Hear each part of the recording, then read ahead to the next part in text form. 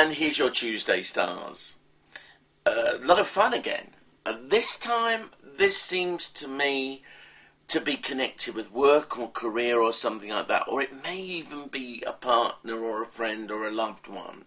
You might need to calm them down. They could be getting overly excited about a situation and they really shouldn't celebrate until the ink's dry. That's, of course, let's hope they've not signed anything yet. What I've got here is that there's some official paperwork that's not right, and they do need to take it to a lawyer or a solicitor or an accountant to check things out. And of course, if it's you, then you must do the same.